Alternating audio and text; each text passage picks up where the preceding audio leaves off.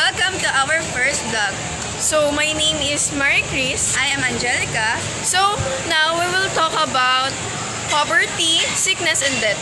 We have a guest that we will, um, they will give their opinions about poverty, sickness, and death. So, see you there.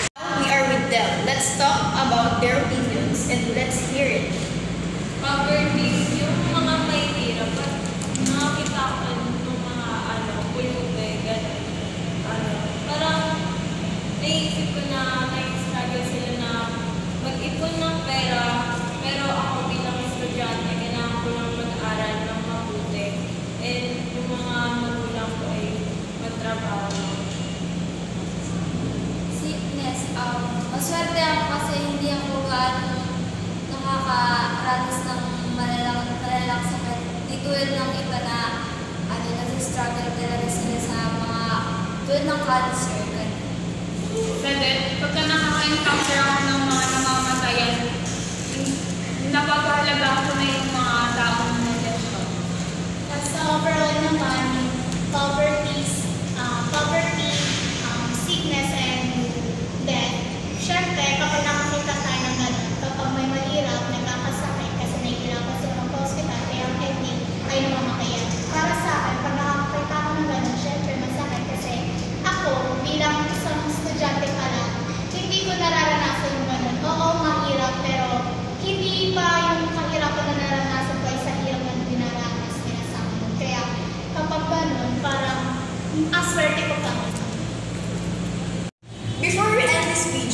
Kasama namin ngayon si Ate Kay at magbibigay siya ng lesson about food.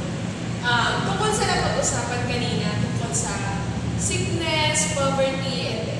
Um, sobrang swerte natin as a student na nag-aaral sa isang private school na hindi natin nararanasan yung hirap, yung kailangan mo munang magtrabaho para may pangbaon ka sa araw-araw.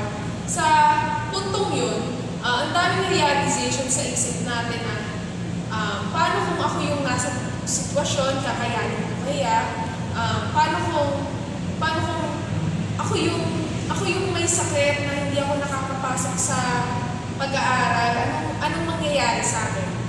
And, um, so, sa, sa buhay natin, patanda na tayo ng patanda. Um, hindi na tayo bata. Parang pahalagahan natin kung anong meron tayo, mahalin natin kung sino pa yung andyan. And